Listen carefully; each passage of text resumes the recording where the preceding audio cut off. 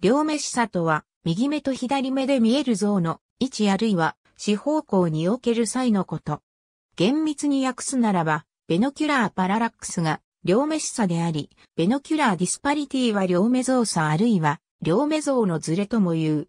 しかし、日本語において単に両眼視差といった場合、その数値、基準例が異なるを問わなければ、同じ意味になる binocular disparity を指すこともある。単に視差と呼ぶこともある。この両目視差から奥行きを知覚することができる。渦のように物体を見るとき、右目と左目で物体への四方向は物体の方向に向いた場合には、二つの眼球の角度が奥行きの認識の指標となる。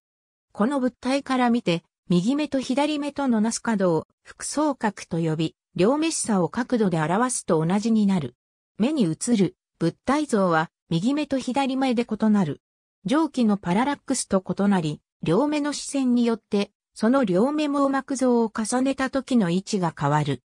今、ある基準点を両目で注視するとき、前後に離れたもう一点の網膜上での両目像の際を角度で表す。これは二つの点のそれぞれのパララックスの差となる。